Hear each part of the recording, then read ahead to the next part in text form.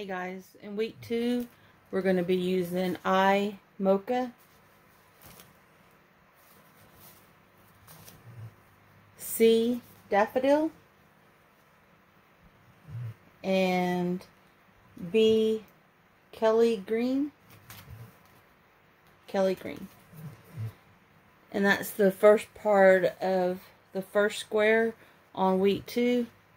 And I started doing them about 6.30 and I think it's almost 8 now.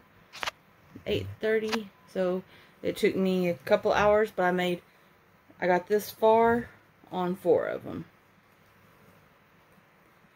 And I'm going to continue on um, because I'm on row 6.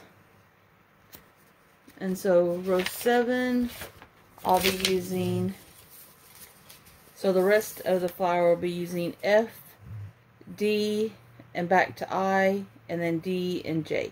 So we're going to be doing F, which is,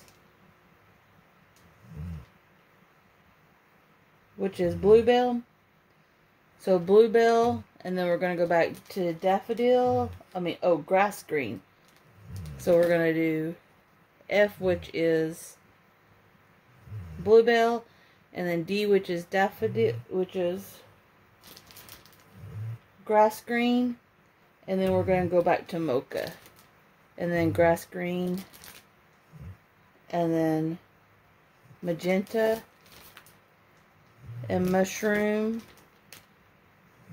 and then back to G, which is meadow,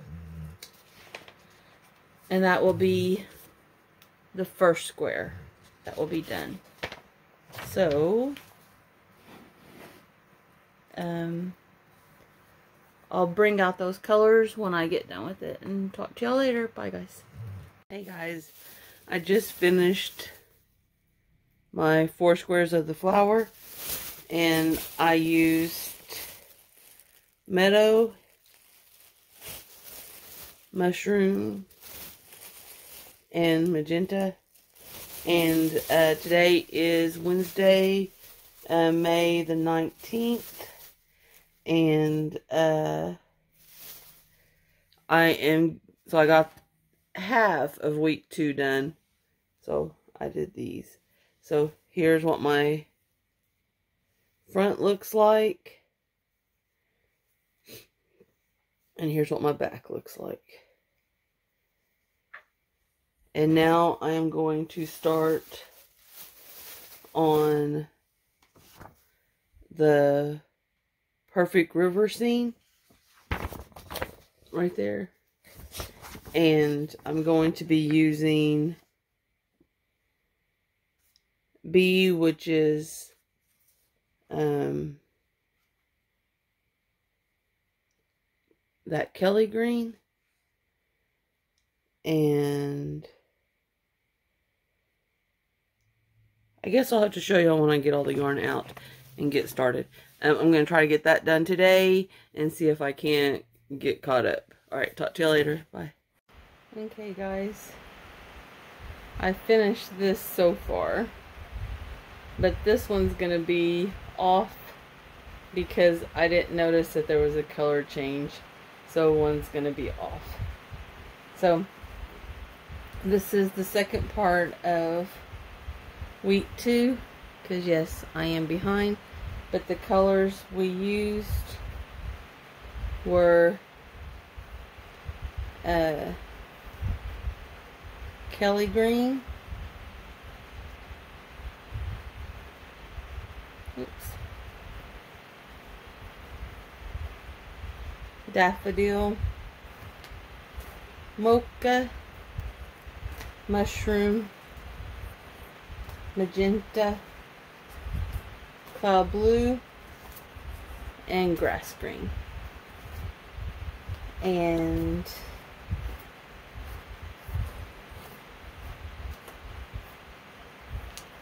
the edging is going to be meadow.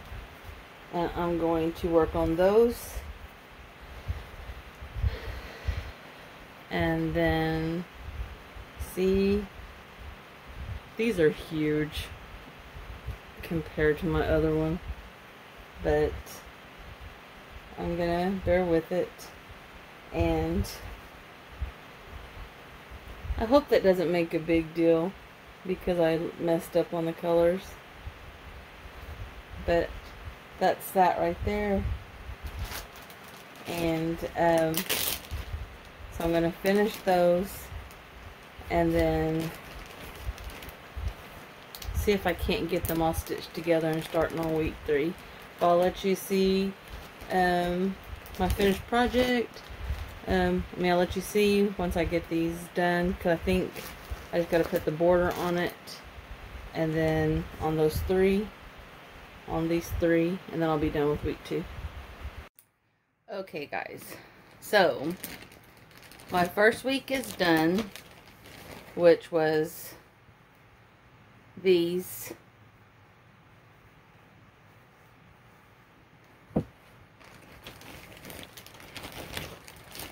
and these right here.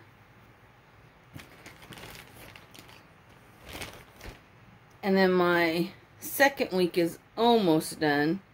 Well, my second week is done. I have four of these. And I have four of these. Now, remember, here's what they look like. Even though this one right here is wrong. Because it's supposed to have that light green on top. But Birdie didn't read the directions and she forgot. She didn't. This is the first one I did, so all the other ones have it because I did it. And they're shaped kind of wonky. so I'm not for sure if I did them correctly. So that is week two is finalized. Now I just need to do week three, which is joining all these together. So I'm going to do that and then I will show y'all the finished project, but kind of behind. But the only reason I'm kind of behind is because when we did the big square, um, I knew that we had to do eight more little squares. so I've already made my eight little squares. I just haven't put the border around because I'm not for sure what color yet because I don't want to pick the wrong pink you know, that goes around there. So all these are done. There's the back and there's the front. The only ends I need to sew in are the ends on the edges. So that one's done. So after I get done sewing all these together, I'll show y'all the finished project. Um, and so hopefully I'll be caught up by week three. And because this Friday is going to be week five. And so I'll let y'all know what happens. Bye, guys.